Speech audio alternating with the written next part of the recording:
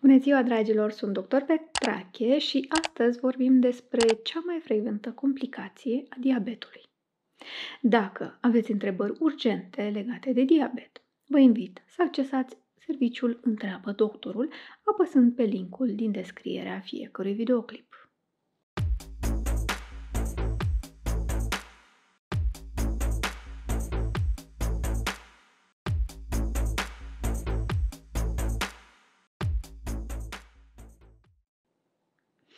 Vă aștept solicitările pentru consultație în clinica virtuală și plan nutrițional personalizat pe care îl realizez numai în clinica virtuală la adresa de mail afișată pe ecran. Astăzi am să vorbesc despre cea mai frecventă complicație din diabetul zaharat. De ce?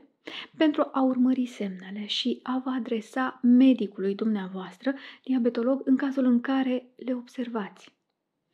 Cea mai frecventă complicație a diabetului zaharat este neuropatia diabetică senzitivă distală, sau mai exact, modificarea sensibilității la nivelul picioarelor. De cele mai multe ori, primul semn cu care se prezintă pacienții la medic este reprezentat chiar de urmarea unei polineuropatii neglijate. Ulcerele de la nivelul picioarelor, dar și înnegrirea unui deget, reprezintă câteodată diagnosticul de diabet.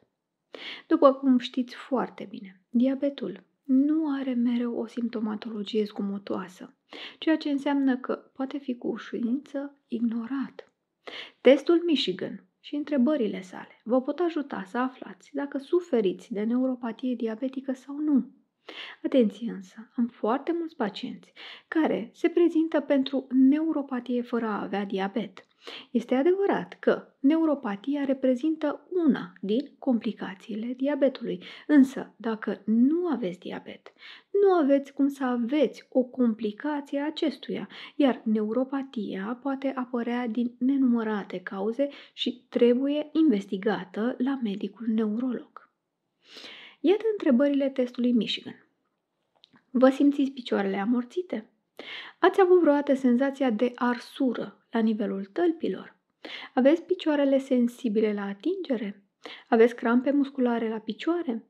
Ați avut vreodată senzația de înțepături la nivelul picioarelor? Vă dor picioarele sau pielea picioarelor atunci când atingeți așternutul patului? Când faceți baie sau duș, puteți deosebi apa rece de apa caldă? Ați avut vreodată o rană deschisă sau o ulcerație la nivelul tălpii piciorului? Simțiți slăbiciune la nivelul picioarelor în cea mai mare parte a zilei? Simptomele de la nivelul picioarelor sunt mai intense noaptea? Vă dor picioarele când mergeți? Vă simțiți picioarele când mergeți?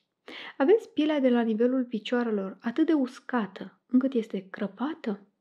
Ați suferit amputație la nivelul picioarelor? Dacă ați răspuns afirmativ la majoritatea întrebărilor și nu știți dacă aveți sau nu diabet, este bine să vă faceți analizele uzuale în care să includeți glicemia și hemoglobina glicată. Dacă știți că aveți diabet și ați răspuns afirmativ la majoritatea întrebărilor, este bine să îi descrieți simptomatologia medicului diabetolog curant.